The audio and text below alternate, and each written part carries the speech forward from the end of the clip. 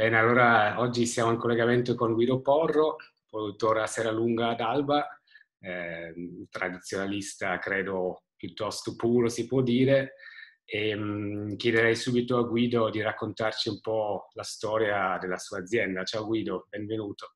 Ciao.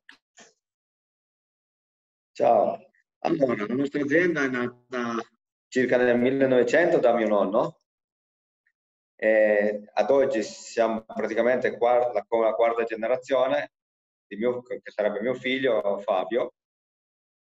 Come dicevi prima, un'azienda tradizionalista, abbiamo 8 ettari di vigneti tutti in Serralunga d'Alba, suddivisa in cru Lazzarito, che produciamo Barolo Santa Caterina e Barolo Azzairasco.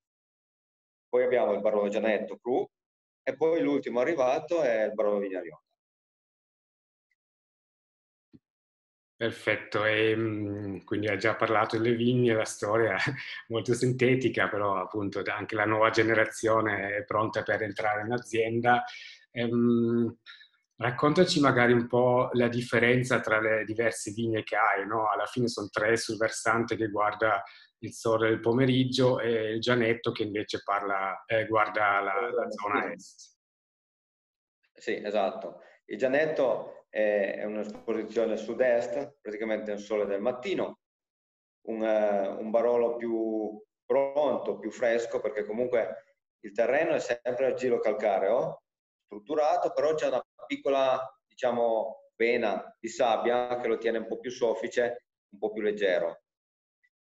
Poi abbiamo vabbè, il, il Santa Caterina, cambia esposizione, cambia un pochino l'altezza, un po' più alto, è un'esposizione sud-ovest e il terreno è argilo-calcareo, come il Lazzerasco. Lazzerasco è un'esposizione sud, un po' leggermente più bassa, e poi abbiamo il Vignari Onda che è anche argilo-calcareo come terreno, però molto ricco di, di microelementi e di struttura, e la, l'esposizione è anche questa qua a sud. Quindi alla fine le vigne forse che più associamo al tuo nome è ovviamente il Lazzarasco e Santa Caterina, quelle storiche. Eh, Gianetto è arrivato qualche anno fa e poi ha preso in eredità eh, la vigna Rionda, che è ancora giovane, però destinata magari a diventare non, eh, a, crescere, speriamo. Vigna famosa e quindi ci hai lavorato molto per, ehm, per tirare fuori anche un vino speciale. Um, ma eh, ti chiederei anche, mh, non sei certificato biologico, però comunque lavori sempre in modo attento e senza eh, l'utilizzo Certamente. di chimica. Um, questo è stato noi, sempre così? Sì, noi eh, non abbiamo mai usato diserbanti in vigna, abbiamo sempre fatto diserbi meccanici, prima con, con certe attrezzature, adesso con l'innovazione abbiamo altre attrezzature sempre più all'avanguardia, meno, meno faticoso da usare, diciamo, però comunque sempre lasciando inerbimento quasi tutto l'anno, tranne dopo la vendemmia in autunno che facciamo proprio la, la, la rottura dello strato superficiale del, del, terreno. Sì, perché anche con gli anni, con i mezzi agricoli che abbiamo, per non eh, diciamo, compattare troppo il terreno, e avere poi dei problemi di, di, di penetrazione dell'acqua, di, di, queste cose qua. Allora in autunno facciamo proprio la, la, la non aratura perché è impossibile, però con un, un ripper andiamo in profondità per rompere questo, questo strato superficiale di, terreno.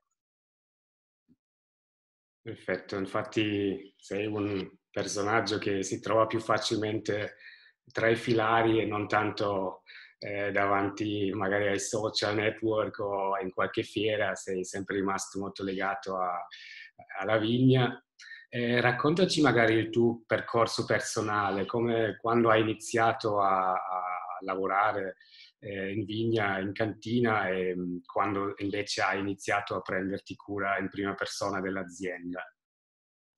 Io essendo, essendo nato 52 anni fa qua in azienda, diciamo, ho, sem- ho sempre vissuto l'azienda fino a, a, nova- negli anni 90. Dal no- poi dagli anni 90 mi sono inserito un po' di più fino nel, nel 96 che mio papà praticamente ha passato la gestione del, dell'azienda a me. Nel 96 ci sono stati un po' di, varia, un po di, un po di variazioni, nel senso mio papà faceva un, un unico barolo de, de, della Zairasco di Santa Caterina. Io nel 96 ho detto ma perché non proviamo a dividere i diversi vigneti? E così abbiamo fatto. Dal 97 è nata la, la divisione del Santa Caterina e della Zairasco, avendo solo quei due lì. Poi, dodi, eh, aspetta, il Gianetto l'abbiamo acquistato, la prima annata che siamo usciti nel 2011, l'abbiamo acquistato nel 2008-2009, questo vigneto qua, e nel 2011, cioè 2005-2006, perché poi abbiamo lasciato lì. 2005-2006 abbiamo acquistato il Gianetto, nel 2011 siamo usciti come prima annata con, uh, con, col Grugianetto. E, e, poi dopo l'ultimo, che parlavamo prima, il Vignari Honda, l'abbiamo eh, avuto nel 2000, fine 2010, inizio 2011 e, e, di lì poi siamo usciti come prima annata nel 2014. Niente, come, come vinificazioni, come affinamento, come dicevi te, io sono tradizionalista. Praticamente la nostra vinificazione è una vinificazione molto lunga, nel senso dipende un po' dall'annata, ma sono minimo 15-20 giorni di fermentazione con uh, due o tre rimontaggi giornalieri. Su, su, praticamente prendi il vino di sotto e lo butti sul, sul cappello per, per, per l'estrazione. Eh, cinque anni fa abbiamo acquistato delle botti in inox, praticamente sono tozze, sono 2,40 m di diametro per 1,50 m d'altezza. Eh, c'è un bello scambio perché comunque abbiamo il cappello che è molto più sottile eh, come spessore e il contatto con il mosto è superiore. Eh, finita la fermentazione di 20, 15, 20, 25 giorni, andiamo a svinare lasciamo decantare sempre in acciaio e poi a febbraio barra marzo quando andiamo a togliere dal legno il vino che andrà poi imbottigliato dannata del barolo, dopo tre anni in legno metteremo l'annata nuova e lì ci rimarrà per circa tre anni. Perfetto, quindi ehm, ovviamente i Barolo di grande classicità e mh, immagino che quello che cerchi lì è un po' anche la, la longevità, l'eleganza, perché i tuoi vini non sono mai sovraestratti. Ehm... Ma soprattutto il terroir, la mineralità, la, la, naturalezza di cosa dà quel terreno lì, di quel vigneto lì. Capisci? Proprio la, la, caratteristica specifica di cosa esce da, da quell'appezzamento lì. Perfetto, così infatti dovrebbe essere per il Barolo, penso, no? piccoli fazzoletti di terra anche molto vicini l'uno all'altra, ma con delle differenze molto, molto marcate. Nei tuoi vini è piuttosto evidente anche, anche quest'anno. Ehm, come mai, eh, visto che Santa Caterina e Lazzarasco alla fine fanno parte della menzione eh, Lazzarito, questi nomi specifici come e quando sono nati? Sono nomi storici che non so da quanti anni esist- esistono era, erano i specifici nomi di quei vigneti lì. Praticamente han, da quando sono nati quei vigneti lì li hanno sempre chiamati così. Capisci? Io adesso dirti dall'origine non la so, della Zairasco. Essendo l'area Lazzarito, eh, diciamo, era un nomignolo de, derivato da Lazzarito alla Zairasco, ok?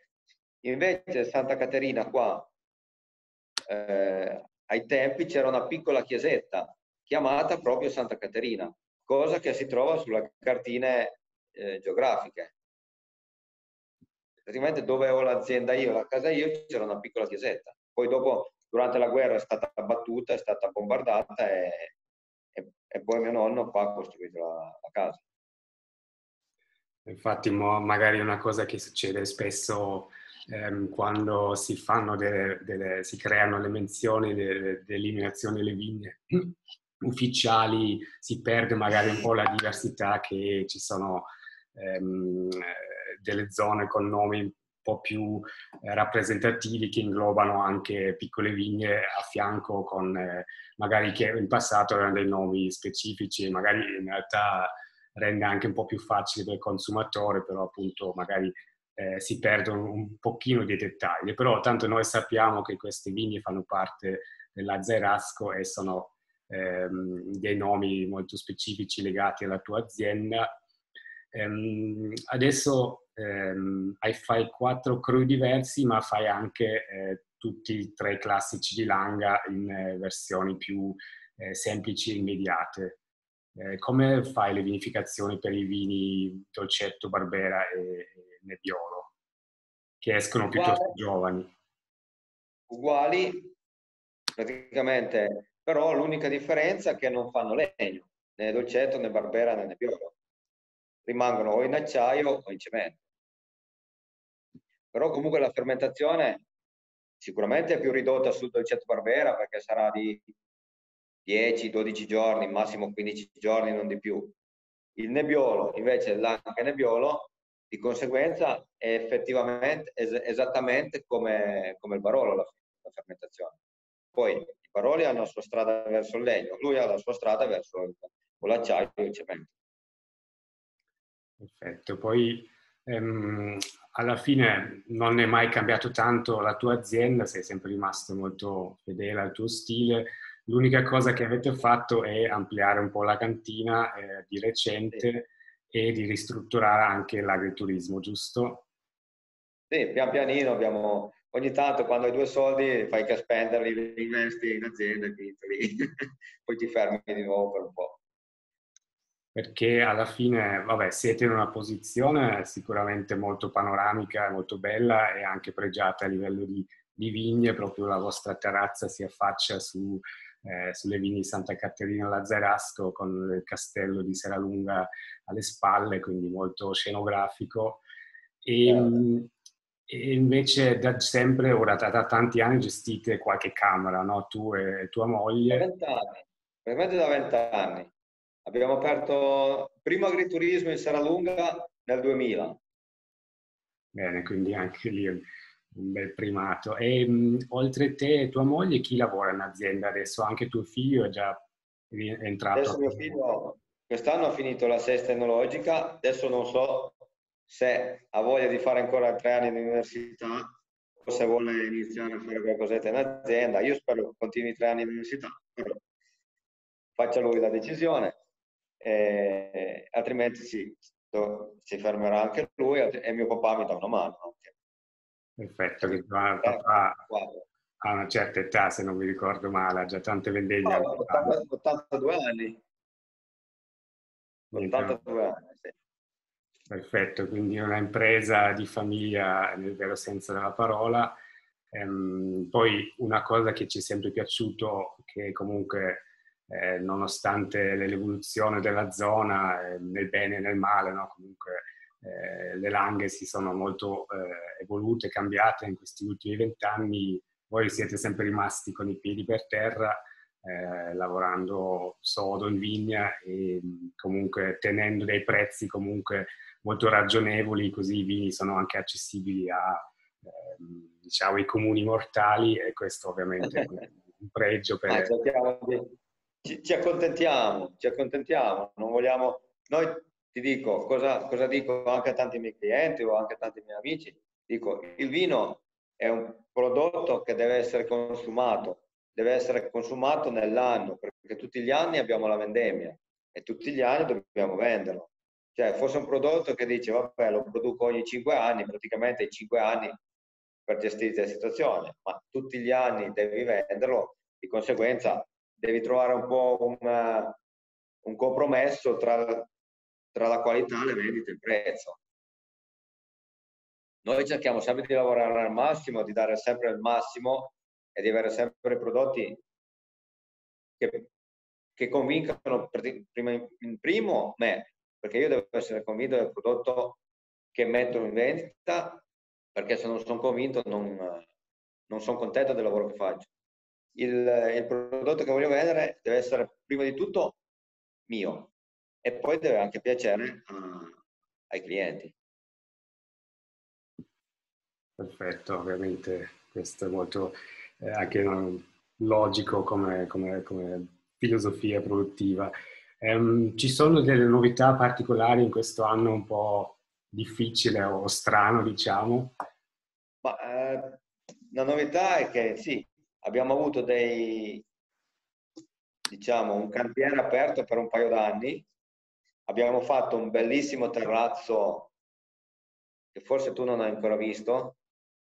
Eh, sul terrazzo che avevamo abbiamo fatto un altro terrazzo, più in alto ancora, e la nostra idea era di fare le, degust- le serate un po' a tema, le degustazioni serali all'aperto, coinvolgendo anche degli amici, come potete essere voi, come anche altri amici, per organizzare una serata, ma non promozionale, conviviale, ok? E poi semmai anche coinvolgere qualche chef che ha voglia di preparare un piatto particolare o due piatti particolari e farci passarci una serata con 10, 15, 20 persone, non esagerato, cioè non affollato il terrazzo, ma da fare una cosa un po' particolare, da, da, da bersi delle belle bottiglie e, e essere ricordato questo evento. Poi organizzato una volta a settimana, una volta al mese, questo era ancora da decidere. Però fare una cosa un po' particolare, che forse tanti lo faranno già, però su questo terrazzo che è, è un po' un balcone sulle vigne, un po' un balcone sulla langa. Ah, infatti era bello già il terrazzo prima, se questo è ancora superiore in termini di, eh, di, di, di, di vista, de, spazio. Di questo, di questo diciamo, problema che è uscito con questo virus, ha bloccato un po' tutto il mondo, sia come turismo soprattutto che come modo di fare e pensare. Adesso speriamo che col tempo si, si vada, vada, a finire, però siamo sempre, ci speriamo sempre di, di fare questa, questa, idea studiata bene, eh, di, di, poterla, di poterla eseguire. No, ma siamo convinti che prima o poi eh, anche questa, questa, cosa passerà e si deve riprendere un po' il turismo in Langa. Eh, chi viene, ehm, consigliamo sempre anche eh, Guido Porro come indirizzo sia per dormire che per conoscere il Barolo di Seralunga, che è sicuramente un ottimo indirizzo. E noi ci ricordiamo con molto piacere la serata che avevamo fatto ehm, sul vostro vecchio terrazzo in occasione del lancio del la prima nata del Vigna che è stato molto molto sì. bello. È stata il 20, 21 luglio del 2018. Eh. L'unico giorno, l'unico sabato sera che ha fatto un temporale della Madonna è stato quella sera lì, se vi ricordate. Questo è vero, eh, eh. siamo stati bene lo stesso sotto... Sì, sotto però core- coreograficamente se avesse fatto una serata normale c'erano delle sorprese bellissime tra l'illuminazione dei vigneti della vallata che avevamo fatto tra il paesaggio, tra le luci era qualcosa di spettacolare però è andata, è andata il buon Dio ha voluto che andasse così è andata così e va benissimo anche così Bene. la serata è stata bella tra amici e spero che tutti siano stati contenti ma sentendo le voci sembra di sì Speriamo, speriamo di, di, ripeterla con, con, il nuovo, con il nuovo terrazzo. Ma sì, dai, appena finita questa, questa fase eh, torneremo e infatti non vediamo l'ora di eh, tornare a trovarvi di persona. E io ti ringrazio per questa chiacchierata e appunto spero di vederci presto dal vivo in azienda. Ha fatto molto piacere anche a me, speriamo di, di... sicuramente ci ritroveremo No, no, no, non così, ma a, a, di persona. Perfetto, grazie Guido. Grazie a te.